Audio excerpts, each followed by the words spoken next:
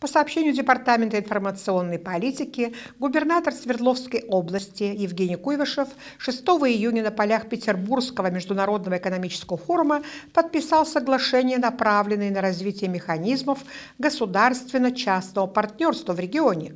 Евгений Куйвышев, председатель правления Национального центра развития государственно-частного партнерства Павел Селезнев договорились о создании и совместном развитии единого банка данных о проектах бизнеса и власти – также глава региона поставил подпись под меморандумом о взаимодействии между правительством Свердловской области и венгерской группой «Банконсульт», в рамках которого предполагается реализация на территории Среднего Урала государственно-частных инфраструктурных проектов в коммунальной сфере. Так, на данный момент в области реализуются 53 концессионных соглашения в коммунальной, энергетической социальной, транспортной и других сферах.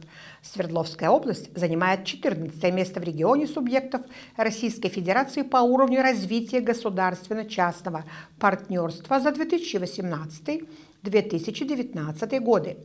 Подписанный документ – это дополнительное соглашение к действующим договоренностям. Оно направлено на создание единой цифровой платформы в сфере государственно-частного партнерства. Эта работа позволит сформировать единый банк данных, привлечь новых инвесторов для реализации планируемых проектов – Подписанный сегодня меморандум развития сотрудничества с венгерскими партнерами дает дополнительные возможности для наращивания притока частых инвестиций в сферу жилищно-коммунального хозяйства. Положительный результат от этого обязательно почувствуют жители области.